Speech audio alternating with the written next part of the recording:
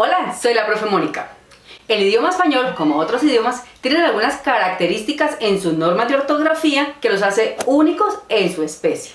Este es el caso del español, que por ejemplo, una palabra no debe llevar doble S dentro de la palabra, como es el caso de casete, sino una sola. Aquí les traigo algunas normas de ortografía del idioma español que se cumplen 100%. Ninguna palabra en español comienza con la S líquida, es decir, sin una vocal que la acompañe.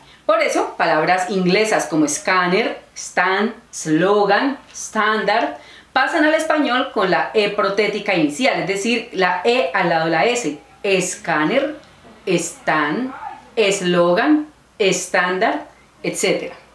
Ninguna palabra en español tiene doble S desde el siglo XVIII, por lo que cassette, express, estrés, se escriben en español como casete, express y estrés. Ninguna palabra en español tiene GH ni doble T, por lo que las palabras italianas ghetto, spaghetti, pasan al español como ghetto y espagueti. Ninguna palabra en español tiene CK, por lo que palabras inglesas como cocktail, click, blocky, crack, etc. se escriben en español cocktail, click, block y crack.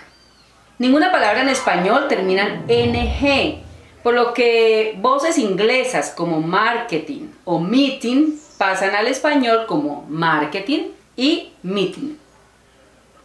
Ninguna palabra en español termina en Y si no va precedida de otra vocal, por eso sí se escribe buey, rey, etc. Lo que exigen voces inglesas como panty, penalty, sexy, dandy, pasan al español como panty, penalty, sexy, dandy con i latina al final. Ninguna palabra en español tiene y interna en función de vocal, es decir, que suene como i. Por eso las voces inglesas nylon, gays, Miriam se escriben en español como nylon, guys, Miriam, todo con i latina.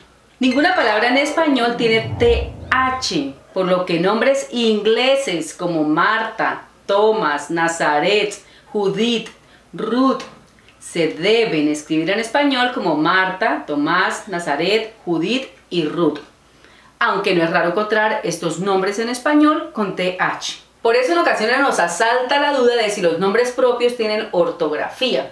En este video y en esta tarjetita que les dejo aquí arriba pueden mirar eh, si los nombres propios tienen ortografía y cuándo o no se cumple esta norma.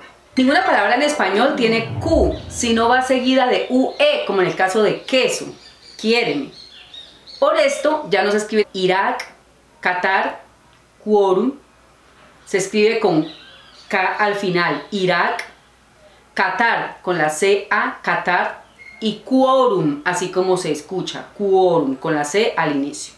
Y para finalizar, ninguna palabra en español tiene doble Z, por lo que soprano que viene del italiano, o puzzle en inglés, pasan al español como soprano con S y puzzle con una sola Z. Ahora cuénteme usted si tiene algún otro caso muy parecido a los que acabo de mencionar y que funcionan en un idioma pero no funcionan en español y por eso tenemos que adoptarlos al nuestro. Espero que les haya gustado este video, coménteme aquí si le gustó, si tiene alguna duda sobre el idioma, comparta este video y claro, suscríbase al canal de la profe Mónica. Nos vemos en una próxima lección.